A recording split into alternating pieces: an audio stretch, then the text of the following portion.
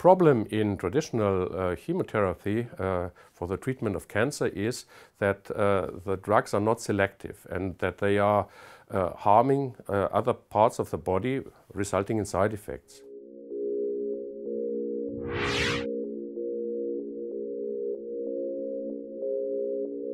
More than 100 years ago, the Nobel laureate and physician Paul Ehrlich had the idea of creating a magic bullet, uh, eine Zauberkugel, which would then target directly uh, the tumor or the cause of the, of the disease.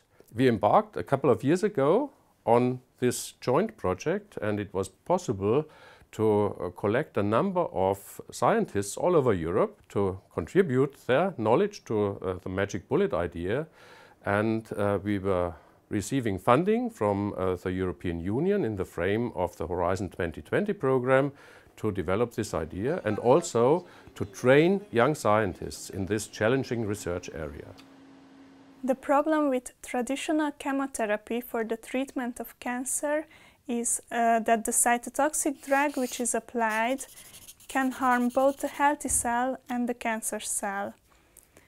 But cancer displays different characteristics and one of them are specific proteins which are overexpressed on the cancer cell surface and are not present on the healthy tissues.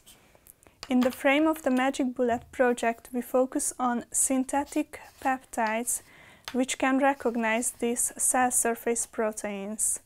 We connect these peptides to the cytotoxic drugs and now the complex can recognize only the cancer cell and kill it selectively.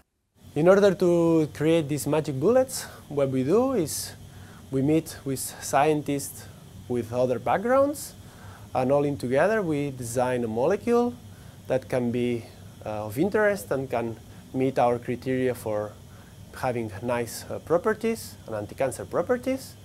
And once we have decided what we want to synthesize, then we start the synthesis and we just do the reactions. We do different techniques and using different conditions. And after each reaction, we purify our compounds. We check that we obtained the compound of interest.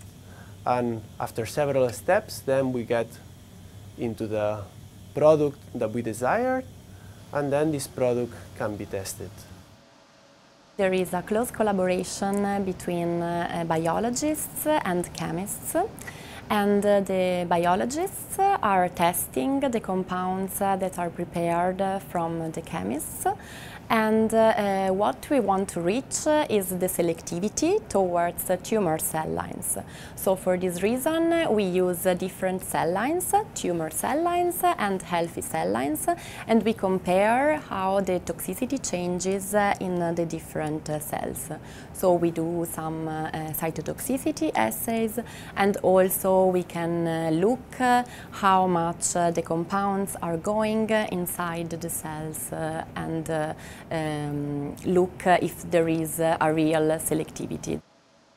It was really a great experience to work in, in the Magic Bullet because the partners interacted very well with each other. It is not an easy task to develop new drug conjugates for directed therapy and I really would like to stress that it is basic research. So the perspective of bringing things into the clinic is a long-term perspective. So we cannot expect these ideas to be converted into reality in a, in in a short frame of time.